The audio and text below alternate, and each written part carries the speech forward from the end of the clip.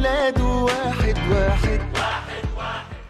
أهلا بحضراتكم مرة تانية. في الحقيقة دايما وإحنا بنجهز ال- الحلقة بما إن البرنامج اسمه الترند فدايما بنشوف إيه الترندات أو إيه آه، آه، الترند رقم واحد آه، في الجانب الرياضي تحديدا واللي الناس كلها بتتكلم عليه يعني. فالمرة دي لقينا إن ترند رقم واحد في مصر على مدار الأيام القليلة السابقة اليومين ثلاثة اللي فاتوا ولحد دلوقتي كمان هو الأهلي فوق الجميع.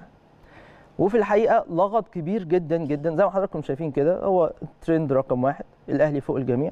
وكلام كتير حصل على مدار ال 48 ساعة اللي فاتوا وده أمر يعني معروف حابين جدا إن إحنا آه، نوضحه لحضراتكم لأن في حالة من الجدل حصلت من خلال أحد الكتاب اللي قال تعبير آه، لا يليق ابدا على آه، هذا الشعار ال- الخاص بالنادي الأهلي. فإحنا حابين نفكره بالتاريخ بما إنه هو مش مؤرخ كروي يعني وبما إنه هو بيظهر في بعض المناسبات القليلة جدا اللي يتكلم فيها عن الكورة. كامل الاحترام والتقدير طبعا لشخصه راجل أكبر مني بعدد كبير من السنوات لكن في نفس الوقت الحقائق لازم نتكلم فيها آه، ولازم نوضحها لكل ال- الجماهير بالتحديد جماهير النادي ال- الأهلي اللي يهمها جدا الموضوع ده.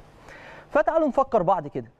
الكابتن صالح سليم الله يرحمه أحد رموز النادي الأهلي التاريخيين وأحد ال- ال- الشخصيات اللي أثروا في كل أهلاوي وأثروا في تاريخ النادي الأهلي بشكل واضح وملموس. كان في توقيت انتخابات عام 92 كان طلع شعار آه، الأهلي فوق ال- الجميع. وكان بيقصد بيه إيه؟ بيقصد بيه إن الأهلي فوق جميع أبنائه. نظرا لقوة المنافسة على ال- ال- المقاعد ال- ال- الخاصة بمجلس الإدارة ورئيس النادي والانتخابات والكلام اللي حضراتكم عارفينه. فالراجل الله يرحمه طلع الشعار ده قال لك يا جماعة الأهلي فوق الجميع. مصلحة الأهلي ده المعنى الحقيقي للكلمة. مصلحة الأهلي فوق مصلحة كل أبنائه. هو ده الغرض. هو ده المعنى لكلمة الأهلي أو لشعار الأهلي فوق الجميع اللي أطلقه الكابتن صالح سليم رحمة الله عليه. تمام؟ حلو. فبالتالي الدنيا واضحة. لكن للأسف الشديد للأسف الشديد اللي بينسوا التاريخ شوية أو هم مش بينسوا هم إمكانياتهم كده بالتحديد في الجانب التاريخي اللي بيتعلق بالرياضة واللي بيتعلق بالأندية. حاولوا إن هم يقولوا بعض التعبيرات اللي ما ينفعش تتقال على شعار زي ده. ولازم إن أنت تكون بتحترم شعار اثر في وجدان كل الأهلاوية زي شعار الأهلي فوق الجميع. فالراجل ده مش مؤرخ كروي حلو. الراجل ده بيتكلم في الكورة كل فترة. لما يكون في مناسبة سعيدة بالنسبة له تكون مناسبة سعيدة بالنسبة له على حسب انتمائه. إحنا عارفين انتمائه إيه ومفيش أي مشكلة. طبعا إن هو منتمي لنادي آخر يعني. ده حاجة عادية.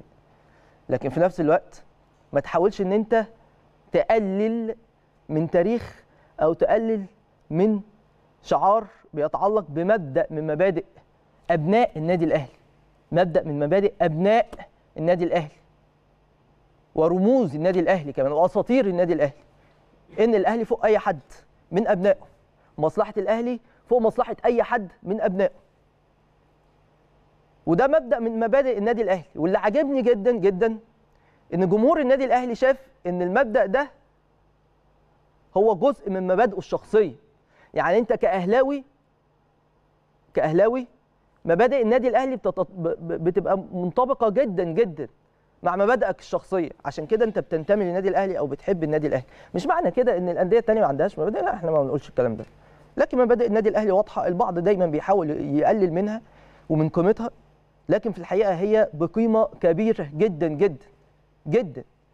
وبتساهم بشكل أو بآخر لما بتمشي في طريق المبادئ دي بتساهم بشكل كبير جدا في الإنجازات اللي بتتحقق على مختلف الأصعدة. رياضيا انشائيا اجتماعيا كل حاجة كل حاجة. فبالتالي ما تقللش ابدا من آه، من حاجة آه، زي كده.